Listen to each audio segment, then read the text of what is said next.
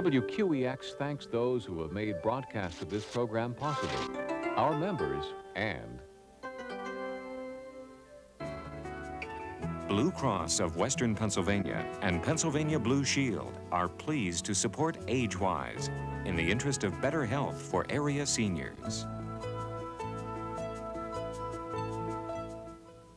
And Integra Bank, serving the communities of Western Pennsylvania for more than 130 years, offering classic choice, a variety of financial services for active savers and investors. Integra Bank, because you want more from your life and more from your bank the bank for times like these. And by St. Margaret Memorial Hospital, enriching the lives of seniors and their families. If you're older, you're in capable hands at St. Margaret. For more information, call 784 4144.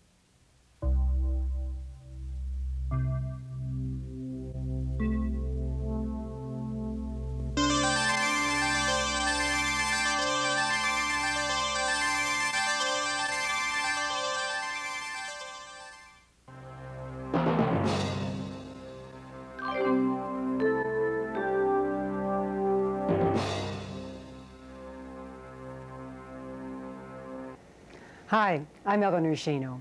You know, the National Institute of Health reports that more than four out of every five men between the ages of 50 and 60 have benign enlargement of the prostate gland.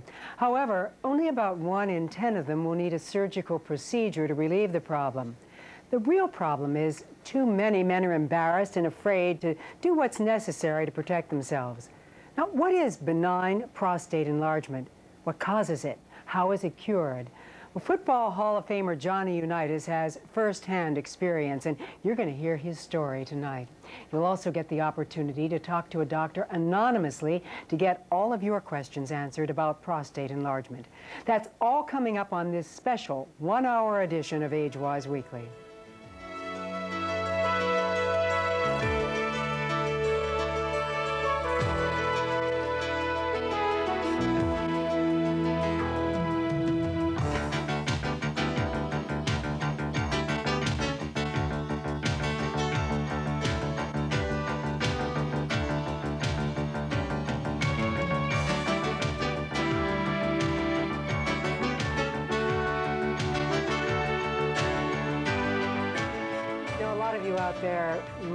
Experiencing some symptoms that make you wonder whether you are suffering from prostate enlargement.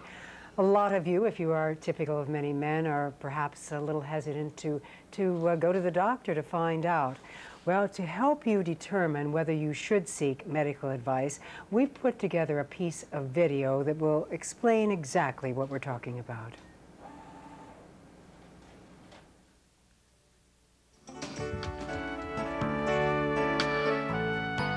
The prostate gland is a gland that sits uh, around the urethra, which is the opening where urine comes out in a man. And the prostate is important in making secretions, uh, particularly to uh, uh make secretions for lubrication for uh, sperm, um, sexual functions uh, as well. And the prostate grows as you get older all men being different, uh, this will occur at different rates in different people. I'd say 70% uh, of uh, men uh, probably in the world have this problem that becomes symptomatic and probably 98% of men after they get to be 30, 40 years of age will have start having enlargement of the prostate. It's such a natural process and just happens with uh, uh, with all people.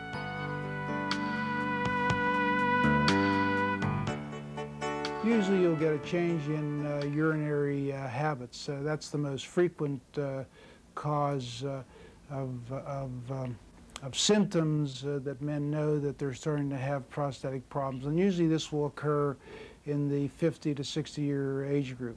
Symptoms will consist of an increasing frequency of urination, some slowing of the stream, maybe getting up uh, more at night, uh, all the way to having urinary infections or blood in their urine. So that these are all signs and symptoms related to prostate enlargement. occasionally, if there's infection uh, or if a patient will develop a bladder stone, these can be painful situations. But pain is not one of the hallmarks of prostate enlargement. It's usually the change in urinary symptoms uh, uh, that occurs. There is a, a, big factor of embarrassment, and a lot of men don't like the uh, exam, which consists of a, uh, a, digital rectal exam. They find it embarrassing, and uh, uh some have great fear of just the process of going through this. I'm Eleanor Schano, and uh, welcome to AgeWise Weekly. We are joined now in the studio with one of the city's most prominent urologists. His name is Dr. James McCague. Dr. McCague is associated with Mercy Hospital. He is going to be here in the studio for the next hour to answer any questions you have about prostate enlargement, about prostate cancer. Our phone lines are open, 683-1600. Doctor, I want to welcome you. Uh, in that piece of video, those statistics are startling. Did I hear 98% of all men over the age of 35 have some form of prostate enlargement? I think that's accurate, too. The, um, the tendency to get prostatic enlargement is determined primarily by hormonal imbalances. Mm -hmm. As the prostatic tissue is stimulated by male hormones, and perhaps by some minor female hormone component, the prostatic tissue enlarges. The prostate is built like a donut, and an adult male passes urine through the hole in the donut. And as the donut gets bigger, the hole in the donut gets smaller, so that the bladder has to struggle and work harder to empty. How serious is this problem? Well, it varies. It uh, generally the bladder can adapt. Mm -hmm. uh, the tendency is for the bladder to get thicker and a bit stronger. The muscle fibers in, a, in any muscle that's asked to work harder get thicker like a weightlifter's arm. The next thing that happens is that the fibers shorten. And that's the reason that weightlifters don't straighten out their elbows. They've, mm -hmm. they've got a, a, a muscle that is thickened and shortened and is able to generate a little bit higher pressure so that it's able to generally overcome the obstruction and consequently the, the more narrow the channel, the stronger the bladder usually gets. When it doesn't get as strong and can't adapt to that narrowness, then the fellow gets symptomatic. Are all men at risk? Are some men more at risk? I think as a general rule, all men are at risk. Uh, if, you, if you don't have normal hormone levels, you're at less risk. As you get older, does the condition worsen? Uh, if 98% of all the men over the age of 35 have some degree of prostate enlargement, what happens when men get to be 60, 65, and older? I think they begin to show their symptoms more. Mm -hmm. um, the, uh, the symptoms tend to gradually increase with age. And when you see the, the, the, the surgical results, for example, where the, the fellows who are having surgery tend to be older men, I think that the, the, the symptoms, by definition, are probably a little bit more prominent and maybe a little bit more annoying. There's some other factors as well, and the, the prominent one is that as you get older and as other systems begin to give you trouble, the inactivity that it causes, that, that the inactivity caused by those, those problems, if you go into the hospital with a broken leg, if you go into the hospital with congestive heart failure, all of those things ask your urinary tract to do more. And then the problem arises that you now have more problems simply because you're asking that system to do more work. Okay, let's run down the symptoms again. I, I know we, we went through them briefly in that, that uh, video presentation, but run down the most common symptoms. Well, the symptoms are consistent with a narrow channel. Uh, the first thing that happens is that the tendency is for the stream to get a little bit more narrow uh, for the, the fellow to, to experience more work in emptying his bladder so that he strains more to void. Mm -hmm. He may empty his bladder less efficiently, or he may notice that the bladder is getting smaller in order to adapt to the narrowness of the channel so that he may start having more frequency at night. He may be getting up more at night than he used to. Uh, he may find that is also true during the day. Um, and then the symptoms can become more prominent because of the side effects of not having successful bladder emptying. You can get bladder stones, you can get infection, you can get But doctor, a lot of those things uh, men might just attribute to, to growing older, um, more frequent urination, getting up during the night, a little bit of discomfort, and they say, well, that's just a sign of, of getting older. Well, there, there- there's some truth to that, um, but there are always reasons. For example, a man in heart failure uh, who does not get fluid out of his system very well, when he lies down at night, he has more fluid in his system that he gets rid of, so that he starts getting up at night because he's got he- he's got frequency because his bladder is being given more fluid. That's a fellow who has frequency at night, not because he's got prostatic problems, but because he's in heart failure. Okay, There's doctor- always a reason. We're doing this show tonight because we know that, that men uh, are frequently frightened. Uh, men uh, hesitate to, to go to a doctor. They have concerns, they have questions, and we've opened our phone lines to all of you men out there 683 1600, and we're going to take a call right now. Caller, line 7, you're on the air. Uh, good evening, doctor. Um, I was just uh, I was wondering if I had uh, somewhat related, you know, uh, problem as far as the prostate was concerned. Uh, the there is an organ uh, right above the, the testicle. I believe it maybe makes the uh, sperm or whatever it does, but that seems on me to be alar- enlarging, and I am a little bit sore. I know I should contact a urologist, but I was just when I heard that 30-year-old statistic, I was kind of wondering, you know, what what's going on? Is it a prostate problem? I don't know. And there does seem to be a little bit of soreness in the bottom of my stomach, one on each side of it. The testicle has a, um, a loading dock for sperm called the epididymis, and it sits behind the testicle. It has a tremendous surface area. Uh, if you get any irritation there, a minor irritation gives you a tremendous result of, of inflammatory change. Um, in a young guy, that's much more likely the cause than, than in somebody who's older. Um, older men can get the same type of irritation and inflammation and actually can work that infection down from the prostate to the, the epididymis. But in younger men, that kind of irritation is much more likely to be inflammatory, particularly in men who do heavy work. So it's, uh, it's an important consideration for your comfort. The other important thing is that younger men have more chance, have a more, have a greater chance of having a carcinoma of the testicle, a tumor of the testicle. And anytime you have a swelling, you really should have a good explanation for that. So actually, what I'm hearing is this gentleman should make an appointment with, Yeah, with I, the I think it's, it's worthwhile. What, uh, at what age should uh, a man begin to have regular prostate exams? Well, Is this part of a normal physical examination? It, it should be, and I think generally is. There are, there are really two entities here in this age group that are of importance. The first is benign prostatic enlargement. The, uh, the donut gets bigger, and the hole in the donut gets smaller, and that happens to every single male to some Okay, degree. Okay, and as a layperson, this doesn't sound too serious to me. Well, it's, it's, a, it's the kind of change that generally is associated with symptoms. It usually annoys the, the, the, the man who has it. Um, it, is, uh, it can be associated if you obstruct the bladder and interfere with how well the bladder empties.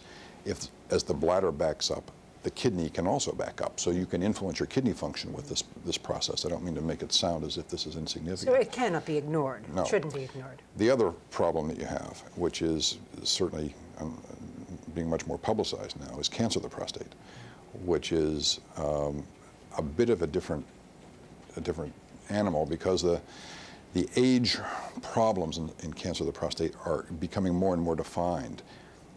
Historically has been, been said that if you are checked annually or semi-annually over the age of 50, you probably are safe. That probably is not quite true. If you have a, I think it's pretty uh, well established now. If you have a family history of cancer of the prostate, so that your, the vertical line in your family has, has cancer of the prostate, or if you are black, this is not a, uh, a non-discriminatory disease. This is a disease that is much more common in black men. You really should be checked after the age of 40. Okay. Uh, again, this, the, the statistics are startling and frightening. Um, when we talk about cancer of the prostate, 200,000 men will be diagnosed this year, 38,000 will die. I read something just recently that um, a third of all the men over the age of 50 have some cancer cells in their prostate. A third of the men over the age of 50. That's true. And it's actually, the statistics are probably worse than that. If you do autopsy studies on men killed in auto accidents, and you look at 55-year-olds, 65-year-olds, and 75-year-olds, the 55-year-olds have a cancer rate under the microscope, without any symptoms, without any other medical history, of 35 percent. Uh, that's a pretty impressive number. And if you look at the 75-year-olds, they're about 60 percent. This is a very special and a very important program uh, we're presenting tonight. We're talking about prostate disease, um, enlargement of the prostate, prostate cancer. Our phone number is 683-1600. Our guest is Dr. James McCague, a urologist from Mercy Hospital. We're going to take a short break and we're going to be back to take your phone calls.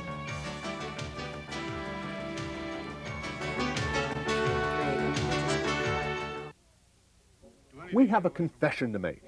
Did Mrs. Bowles have anything to do with the murder? No. I did it alone. But we have the best lawyer in the country on retainer. But I didn't kill him. I didn't. Mr. Cranston killed him. All I did was call down to the car. Tell him, Mr. Cranston. Please, tell him. We confess Perry Mason is back in prime time, but they forced us to do it. They goaded us on until we couldn't stand it anymore. I killed him. But I did it because I loved Martha. Yes, Perry Mason is back, often with familiar faces from other shows. Well, if this gets into the newspapers...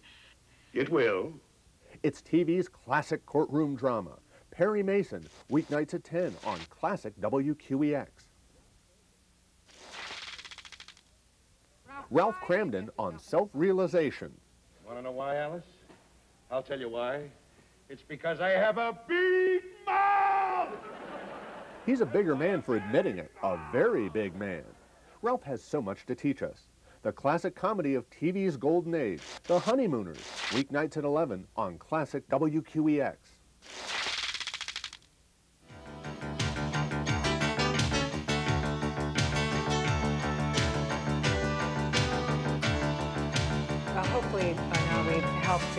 Little confusion, answered a couple of questions, but if we haven't, don't worry, there's plenty of time left in the show. The doctor will be here, with us for another probably 45 minutes. The phone number 683-1600. A lot of men hesitate, they're afraid to go to the doctor to ask questions.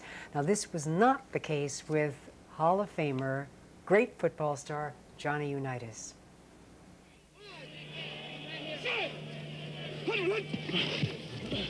Johnny U. That's all you need to say. Every football fan, young and old, will know exactly who you're talking about. No, there's no mistaking old number 19.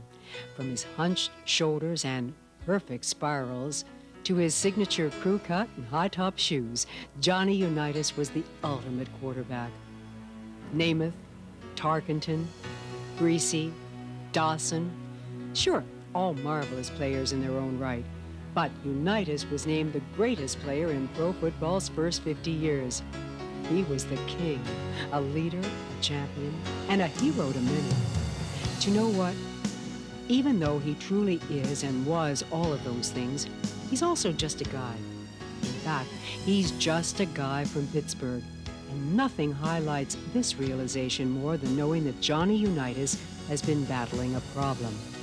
A common problem to men over 50, but a problem that is being brought to light by the unselfishness of a superstar. Hall of Famer Johnny Unitas, on behalf of the Partnership for Prostate Health, is spreading the word that he has benign prostate enlargement. His message is very clear. One in four men over 50 have bothersome urinary symptoms and are unaware that these symptoms may be associated with prostate disease. We're losing too many men because guys uh, are big macho. They don't think, hey, I don't have to see a doctor. It's a normal aging process. Well, sure, it's a normal aging process, but you still go see a doctor. Being 18 years in football, you know, I'm on a uh, first name basis with most doctors in Baltimore area, and uh, uh, you talk to doctors and trainers, and if things bother you, you tell them. They, my shoulders bother me, my left elbow bothers me. So, you know, it's pretty easy for me to talk to doctors. I think a lot of men get embarrassed by having to want to go talk to a doctor about a prostate. You know, first of all, they may have a fear that what is a doctor going to tell me? Maybe uh, something I don't want to hear. But if they open up, they go see their doctor, tell the doctor what's bothering them. It's the only way they're going to get something done. He's, he's the big guy. He's going to tell you what, what you really need to have. and uh, together you can resolve the problems. So, how do you know if you're having a problem? Well, the most common symptom is a change in your normal urinary routines, frequency, or flow. Normally, I'm a very sound sleeper, and over the last year and a half, I've been getting up two to three times every night to relieve myself. And this is out of the ordinary. So I was concerned about it. My wife was concerned about it. And what we really did is to get together and decide, hey, I'm going to see a doctor. Teaming with Johnny to get the message out here in Pittsburgh is Dr. Frank Costa, director of the Urology Institute of Pittsburgh. I think that it's very effective, and Johnny should be complimented that he's actually come out and talked about his problem. Johnny Unitas isn't embarrassed to talk about the fact that he has a prostate problem. I think that people that uh, listen to him should examine themselves and see if they have a problem with changing their symptoms and their urinary pattern. That they should not feel embarrassed to go to a physician or a urologist to get an examination, to be evaluated, and to see if in fact they need any further testing or treatment. Well, there you hear it from Johnny U himself. He's talking to all you big macho guys out there and saying, hey, if you have a question, ask it. And this is a good opportunity tonight because we got the big guy. Did you notice Johnny Unitas calls you doctors the big guys? We have Johnny Unitas, we've had uh, General Schwarzkopf, Robert Goulet. A lot of prominent people have come forth and, and they've disclosed the fact that they do have prostate disease. This has um, really dramatically increased public awareness, and uh, it, it's helping, isn't it, Doctor? I think it is. The, the, um, the National Prostatic Awareness Week uh, has been a, a, a big positive effect as well. The, the tendency here, I think, I, I think it is true that men shy away from this kind of thing, but I think it's also true that there's no cultural support for that. Um, women are in, in, pediatric offices, they've been in gynecology and obstetrical offices. Um, I bet you the average 50-year-old guy, unless he's had an injury, mm -hmm. Uh, has not really been in a medical office. It's a real big event going into a medical office for him. Okay, now a lot of our viewers out there are probably wondering what's in store for them when they do call the urologist and make the appointment and discuss their symptoms. What kind of exam do you do? Is it painful? Tell us about it. I think that generally it's annoying, but I don't think it's a painful exam.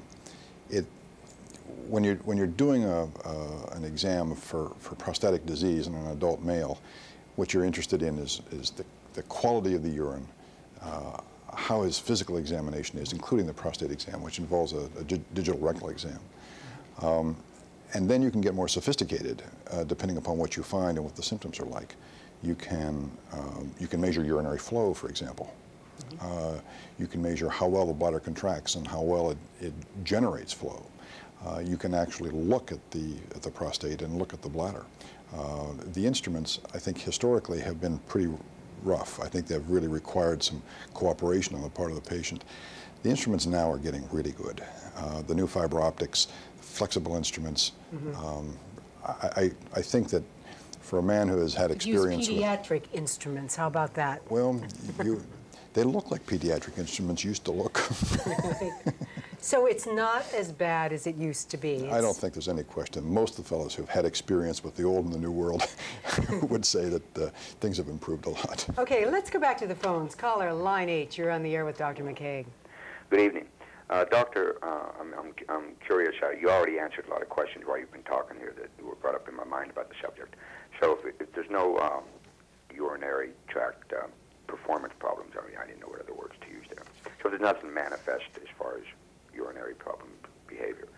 The actual digital exam, uh, individuals that were less that were less inhibited or whatever, how would what would they look for in a self-examination for men that were capable of doing that? In a self-exam?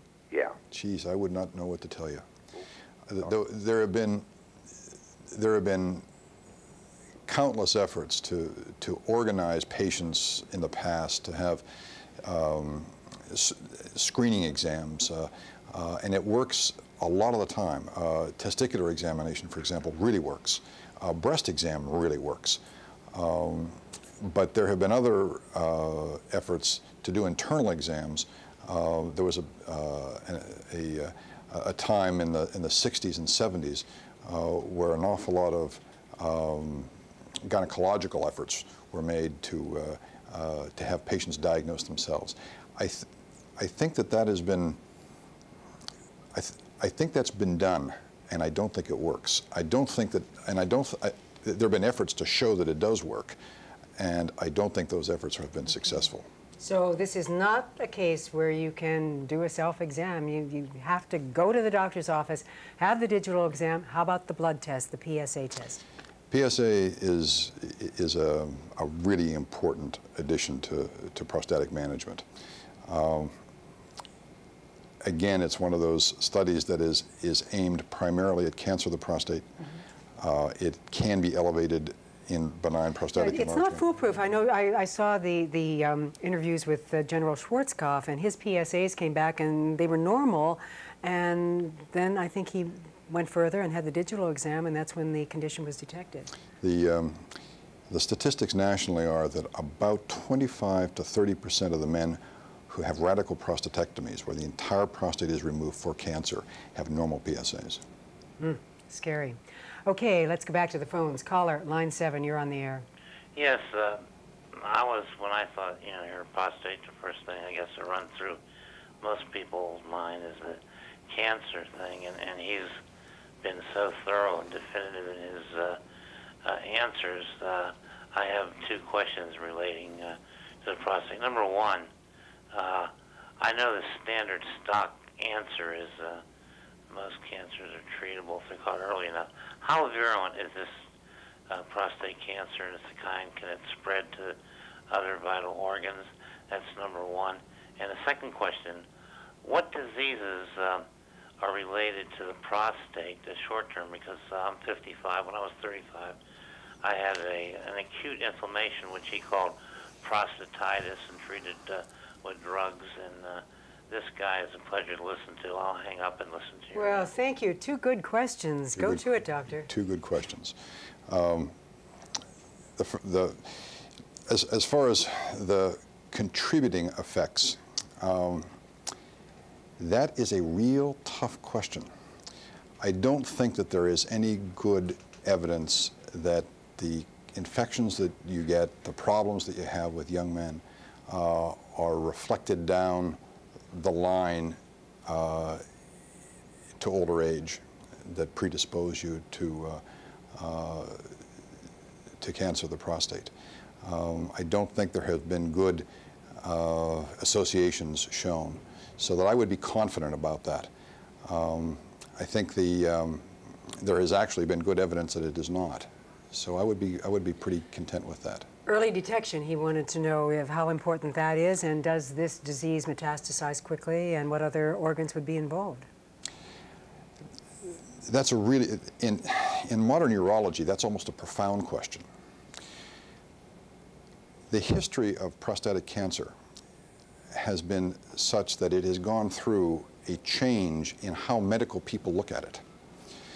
There was a time where it was thought that the only prostatic cancer you could cure was the cancer that wouldn't hurt you. There have been good studies done in an effort to show the natural course of prostatic cancer, and it does have a peculiar quality to it.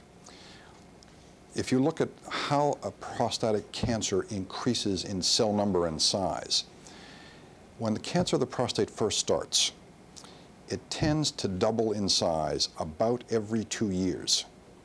That's slow when you compare it to other cancers that are uh, a problem in our society. When you start seeing the disease get aggressive, when it starts to hurt the man who has it, the disease changes. It is now doubling in size every three months. So that you're really talking about a disease that undergoes an evolution. And while no one can tell you when that evolution turns, when that, that, that disease kicks into its, its life-threatening phase, it inherently has a quality about it that makes it susceptible to being found early and cured. So I think that maybe in, it, it may turn out to be the, a classic example of where early detection prevents problems down the line. Doctor, is there only one strain of prostatic cancer? Uh, actually, no, but I think from a practical viewpoint, it, I, think they, should, they probably, from a practical viewpoint, should be thought of as one. Okay, we have a lot of other questions. Um, questions concerning treatment, uh, surgery, uh, impotence, incontinence, all of those things. And we want to take more of your questions. 683 1600. We're going to pause briefly and we're going to return with Dr. James McCague.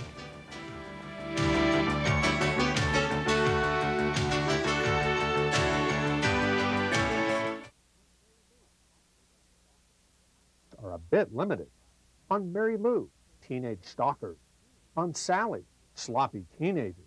And on Maury, teenagers jealous of their mother's good looks. That same day, though, Charlie Rose talked with actor-director Kenneth Branagh about his latest film, Frankenstein, and the notion of the mad scientist. Uh, a parallel that we used was with Oppenheimer and Einstein, who described the process of trying to solve the equation of splitting the atom as so exciting as to blind them completely to the consequences of what that weapon The could sheer produce. walking that mountain, walking to the top of that mountain and Yeah. conquering it. It is so thrilling. It's so thrilling to think that you know you've done what nobody else has done before. Then, as Victor Frankenstein finds, when yes, if he could just have the formula written down, that would be fine. But he, but not, he doesn't just have that. He has a living, breathing being who, in his hands, he's produced as rather grotesque because he's put him together from Yeah. bits of other human beings, and is now utterly dependent on him. And it's shocking. He hadn't bargained on that one. Fascinating guest with something to say. So take out the trash for a real talk show. Charlie Rose, weekday mornings at 9, here on WQEX. And thus, our saga draws to a close. Upstairs, Downstairs concludes with the social event of the season the wedding of Robert and Georgina, and what happens to Hudson and Mrs. Bridges, Richard and Virginia, even Eaton Place itself. Look for the final chapter, Friday afternoon at 4.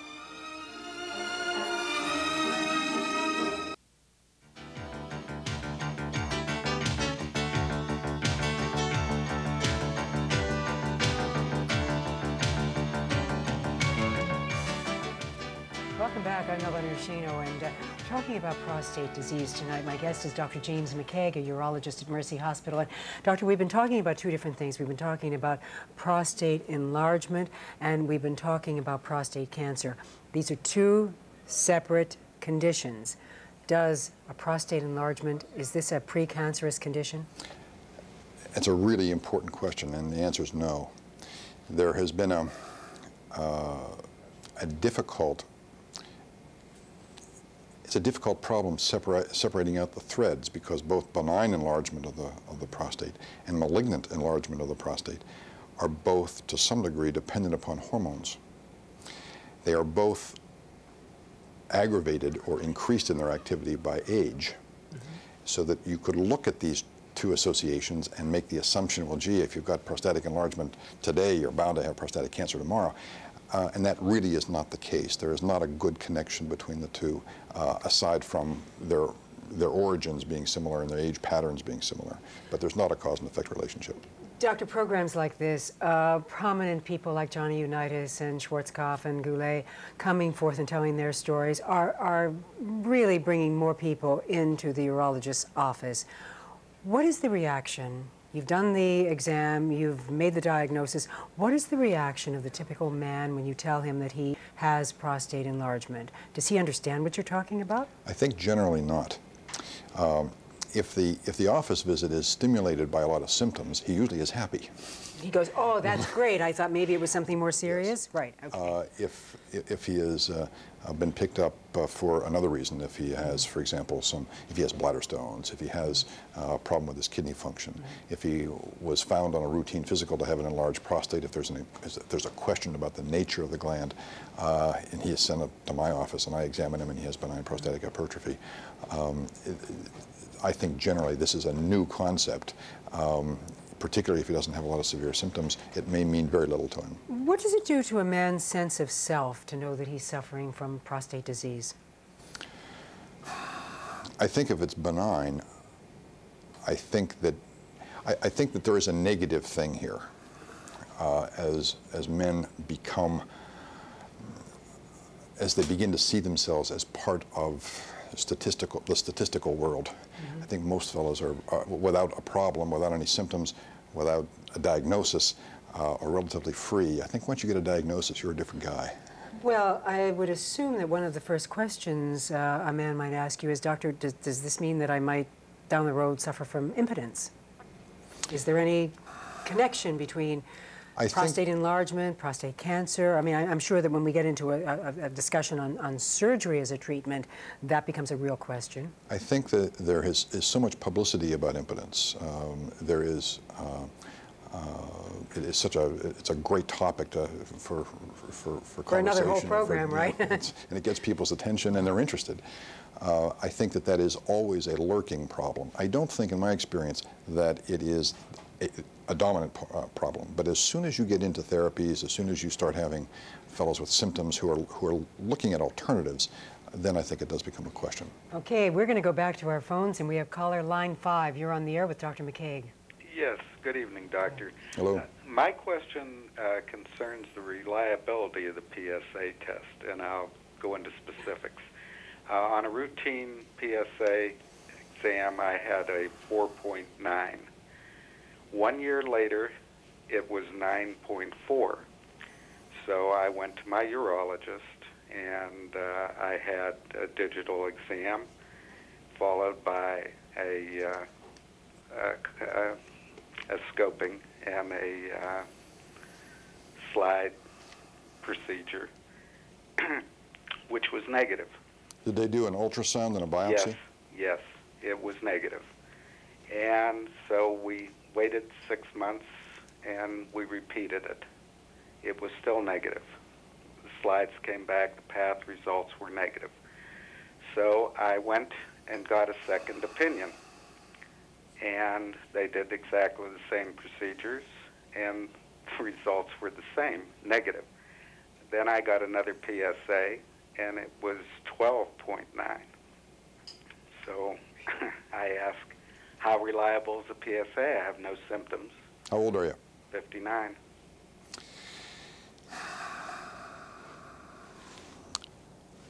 I, I'm embarrassed to tell you that I think that that there is a learning curve here for physicians as well uh, as for the audience.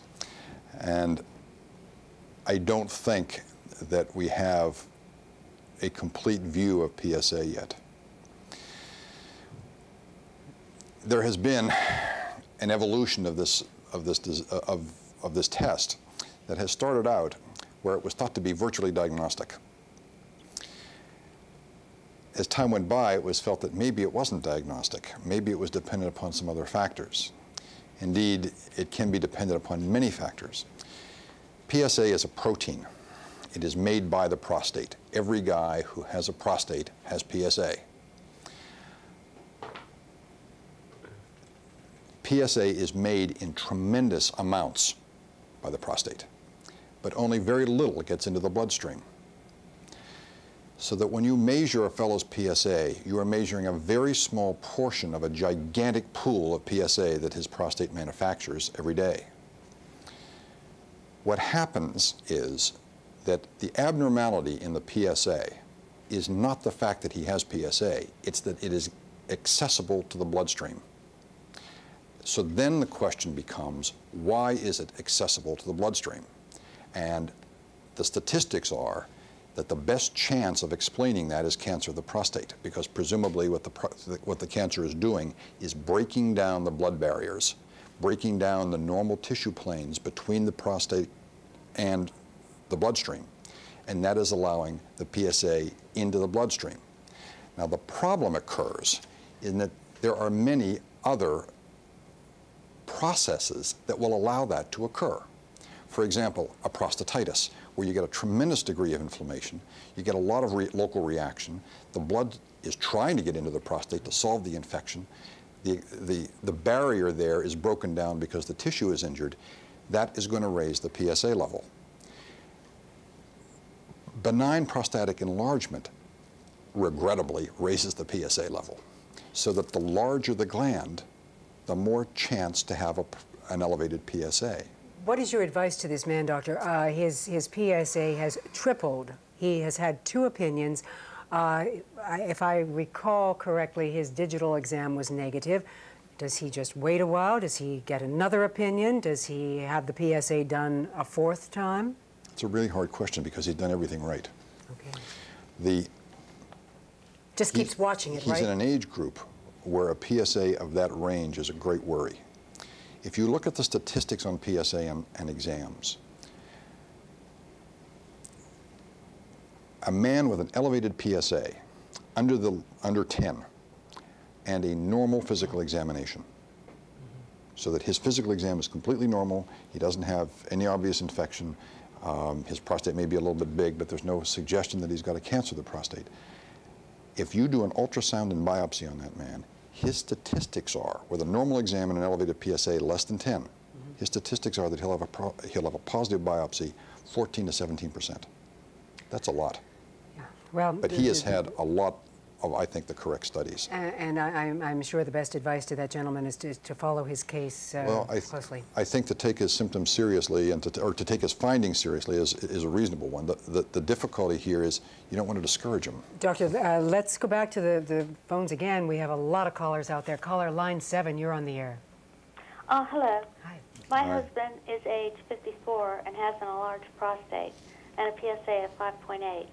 Is a biopsy necessary? And if so, is it painful? My husband's very apprehensive about having this done. In his age group, his, pros, his PSA is elevated.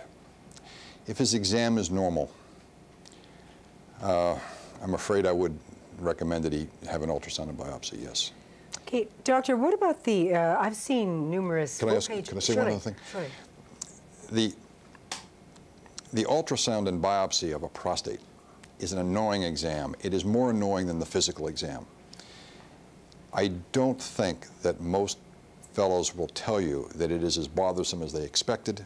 It is certainly not as bothersome as something like a barium enema or a, a, a, GI, a lower GI tract study or proctoscopy or something like that. You're using uh, an instrument that is relatively small and the needle is tiny. Uh, so that f- as from a discomfort viewpoint, I would not let that discourage your husband. Okay. Question I had uh, referring to a lot of newspaper ads I've seen, big, almost full page ads, uh, for drug therapy that claims to shrink the prostate. Does this work? Is there a little pill you can take that will shrink your prostate? Amazingly enough, there is. Um, there are two major therapeutic options for a fellow with benign prostatic enlargement uh, that, th- that are, are, are medicines. Uh, and they fall into two general classes. One is the alpha blockade group, uh, and the other uh, is Proscar. Uh, alpha blockade is an interesting therapy. Uh, well, they're both interesting therapies. Alpha blockade is a, um, is a medication that interferes with alpha receptors. And there are alpha receptors in three major areas in the body. One is in the sinuses. Uh, the alpha, uh, the alpha stimulators are, are sold as a, uh, uh, as an anti-sinusitis medication, and if you take them, they'll stimulate the alpha receptors in the prostatic area, and they'll make it more difficult for you to pass your urine. The, the, the obverse of that is the alpha blocker, which usually causes a little bit of, of runny nose, but decreases the tone of the bladder neck and of the prostatic urethra, the channel that you pass your urine through, so that the alpha blockers relax that channel and make the work for the bladder less. And your nose runs? Well, sometimes you have a little bit of irritation there. But it's a very well tolerated medication as a rule, and it really works. Um, the, the medications are primarily sold as antihypertensives, but they're not very good antihypertensives, so that there are not a lot of side effects to them. Okay, what about the Proscar? And Proscar uh, is, a, is a, a fascinating medication as well. Proscar blocks the, the, the breakdown of male hormone to its smaller uh, breakdown products. And in doing so, causes a lack of stimulation of the prostate that causes regression of the prostate gland. And it really works. Uh, statistically, um, it, uh, it causes about a 16% improvement in urinary tract function over about a six to eight month period. The problem is it takes a long time. Six to eight months, the, the alpha blockers work right away.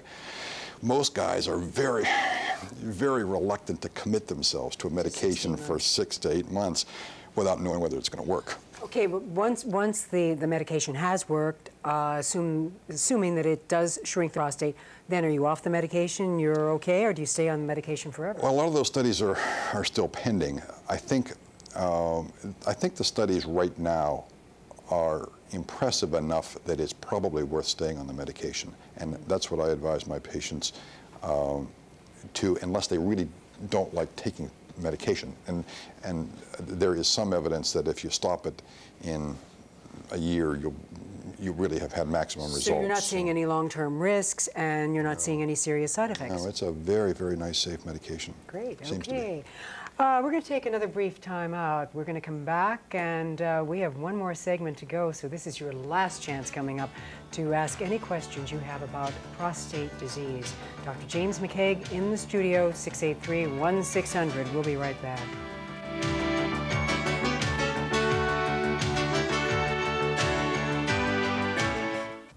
Hello, I'm Norma Zimmer, your host this week on The Lawrence Welk Show. Here are some highlights. Let us praise God together on our knees. Let us praise God together on our knees.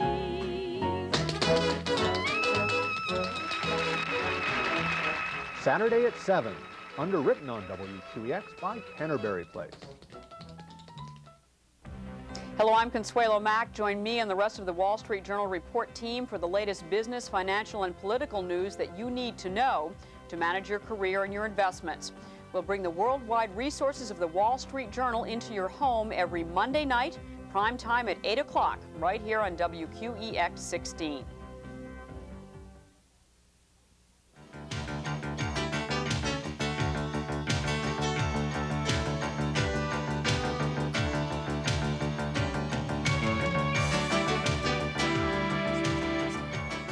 Welcome back. I'm Eleanor Schano and my guest, Dr. James McCague. Our phone number is 683-1600. Doctor, we've been talking about medication. We've been talking about, um, well, other forms of treatment. What are some other options? Well, there, there are a number of, of, of options. Some of them are fascinating. There are a lot of experimental options out there that are sort of, a, I, I think, going to eventually prove to be interesting and, and, and effective. Um, there are uh, there are some mechanical options. Um, there are, are struts that can be placed in the in the channel uh, that the prostate surrounds that will actually strut the the, uh, the prostatic channel open. There are, and of course there there are surgical intervention. Okay, surgery um, only prescribed in cases of uh, prostate cancer. Well, you can. I mean, that you has can- to be that has to be the last resort, right? No, I wouldn't say that at all. I'd, I'd say just the opposite. If you can, if you qualify to have your prostate out and you have cancer of the prostate, um, I think that depending upon your age, you ought to take that option. Um, the let me break this down to the the benign and the malignant. The the benign prostatic hypertrophy is in essence a mechanical problem. The, the, the bladder is obstructed from prostatic enlargement and the, the surgical solution is mechanical. Uh, the instruments that are available allowed you to slide into that channel and actually shave the prostate down, sort of like coring the inner part of an apple, uh, to improve and open that channel to allow right. the, the urine to flow more easily and to, and to decrease the work that's required of the bladder. That is a surgical procedure, but, surgical but a procedure. relatively simple one. And a pretty straightforward one, and one that is, has improved dramatically with, with some of the new uh, uh, techniques that are available. The, the surgery for, for malignant prostatic disease is, is much, much more involved. Uh, it involves making an incision in the abdomen, dissecting down over the bladder, usually removing the lymph nodes to make certain that your disease is as best you can see uh, limited to the prostate, and then removing the prostate in toto uh, and reconnecting the bladder to the channel you pass your urine through, through the space that's been left by the prostatic removal. That's, that's a significant surgical procedure. What about the, the psychological effect? Again, the man's sense of self after he has had prostate surgery for a malignant condition. I, th- I think that the solutions are pretty rough for, particularly for young men who, who are really the ideal candidates for that kind of surgery. Um, I mean, I'm sure their concern is impotence. Does it, does it, does it necessarily follow? well, if you look at the statistics that are available, uh, probably 30 to 50 percent of men will lose their sexual function after that surgery. Um, the, uh, the technique that has been developed was, development in Johns, was developed in Johns Hopkins. Um, it is an adaptation uh, to a, a procedure that has been in existence for 30 or 40 years. Um, the, the results have gradually improved as our understanding of, of the complications has, has improved. Um, certainly a 50% impotence rate in a 50-year-old age group is not a, is, is not a, a very uh, uh, pleasant complication rate. But at the same time, this is a problem that generally there are, there are, are alternatives to. And I think that if the patient understands the, the implications of his, of his getting better from this disease and the, the medical options uh, to his, uh, his uh, potential sexual dysfunction, I think most fellows will Will do that trade. We'll, we'll, we'll, we'll opt uh, to, for, for survival. Uh, let's go back to the phones. Uh, caller line eight, you're on the air. Hello. Hi, go ahead. You're on the air. Uh, uh, doctor, I uh, I'm in, I'm 66 years old. I uh, I had a colostomy done December 28th of 1988, and I did notice a change in my urinary function. Uh, I get the I, I get a, a scope done every year, a, a colonoscopy every year, and it always comes up negative. But I noticed that uh, uh, I do have uh, a, a little bit of disorder on my urinary function. What uh, what would you recommend to me? Well, you get some good questions here, you know. Very intelligent viewers, Doctor. The, the way to think of problems emptying your bladder is to think of the bladder as a pump and a reservoir, and to think of the outflow tract as a, as a resistant tube. If you're having trouble emptying your bladder, it could be because you have a high amount of resistance to urine flow from, the pro- from prostatic enlargement. You're certainly in the right age group, and that would make some sense.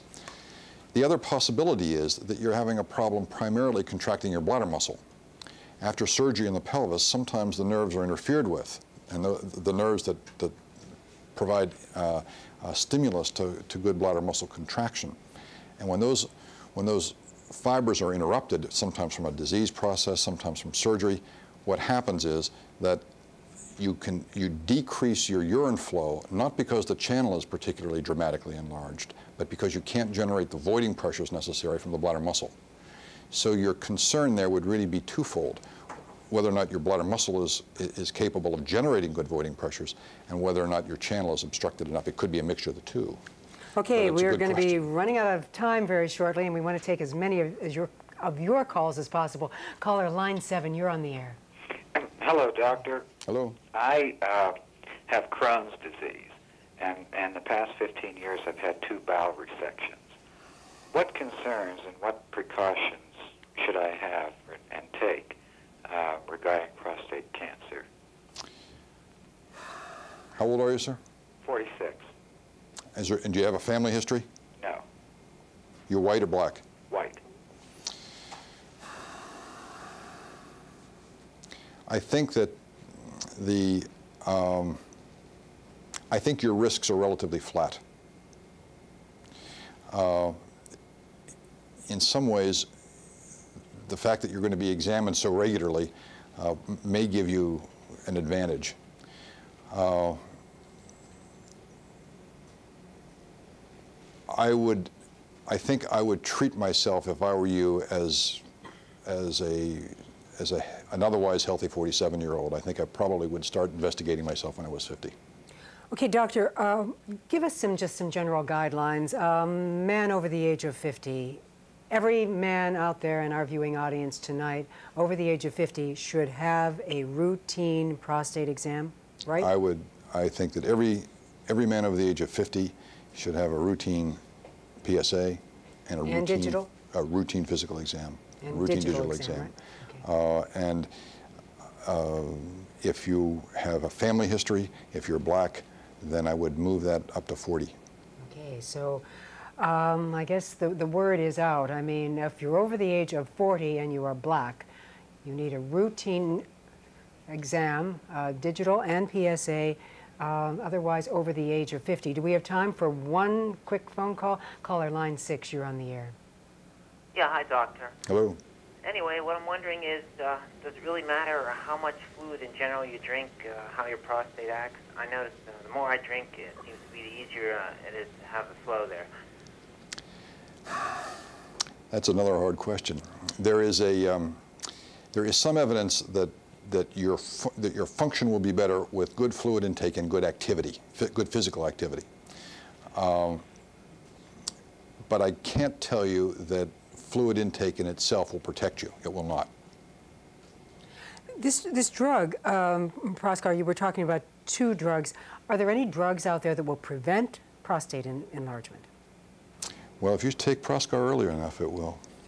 Okay, so then why not? Well, it is one of the big questions that is walking around out there. Um, if, if the drug will indeed interfere with prostatic enlargement, um, there is a reasonable argument that the fellows in that age group, 30 to 50, should be the ones to take the medication and not the 60-year-old. Doctor, is it true that the National Institute of Health, uh, well, th- these are some figures that, uh, that I picked up. They say that $200 million wa- was spent on, on breast cancer research, and at the same time, only 36 million to support uh, research for prostate cancer. Does, does that disturb you a great deal? Well, I think you're, I, th- I think that there are a number of factors involved here. One is that there is clearly political activism involved in some, uh, in some illnesses, and if you are well organized, um, you will do better uh, with regard to grants and, and, and the like. The second thing is I think that cancer of the prostate was really thought of as an older man's disease. Um, I think what's going to happen in the next years is it's going to be seen as, as the, the, the, the average 55-year-old man who has a risk for this disease thinks he's hitting stride. He doesn't think of himself as an old man. Um, so that I think that those things are probably going to change. I think it's going to be difficult to have great success in the near future with this because as, as the contraction in medical care occurs, and I think it will, um, the first thing that will go is research. Okay, doctor, you have 30 seconds to look into that camera and talk to all those men out there. And if you want to repeat some of those statistics, you're allowed to scare them right now to make sure that they go and get that examination. Well, I wouldn't, I, I- I would not try to scare anybody. I think that the real point here is that for the first time in the history of man, we have uh, a blood test, a physical examination, and some procedures that are, are uh, um, uplifting, uh, that give us a chance to, to have insight into, into disease processes that we never had access to before. Uh, and I'd take advantage of them. I think that that is a sensible thing. If you think of 35% of 55-year-olds uh, having cancer cells in their prostate, that's a lot of people, and they're healthy men. Without, Dr. James McCague, urologist at Mercy Hospital, thank you so much for an Thank enlightening hour. Next week, change of pace. We're going to have comedian Don Brockett right here on AgeWise Weekly. Hope you'll join us then. Remember, the good years start right here.